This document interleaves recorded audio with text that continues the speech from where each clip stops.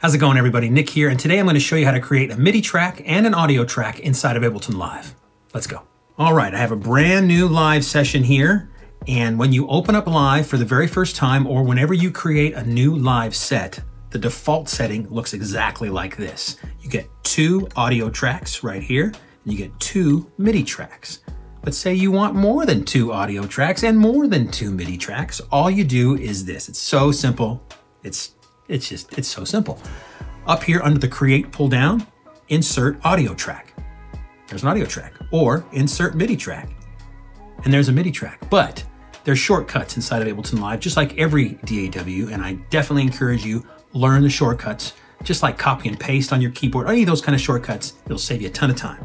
So to create a new audio track, it's just Command T. Command T. All the audio tracks your heart desires. Or I'm going to get rid of these here so I can make some more space.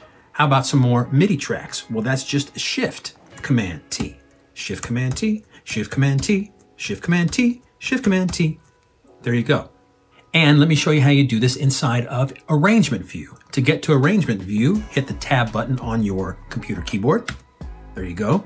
Or over here on the top right, underneath the D sign and the percentage sign, there's two circles with vertical and horizontal lines. That takes you back and forth from session to arrangement view. Get to arrangement view, which is right here, and say you want a new audio track. It's the exact same thing. Command T, Command T, audio tracks, new MIDI tracks, Shift Command T, Shift Command T. There you go, and you're ready to rock inside of Ableton. I encourage you, learn the shortcuts, make all these tracks, and make music. This is such a fun DAW to get into and to make music with. You're gonna have a great time. Thanks a lot for watching. I hope to see you again here soon.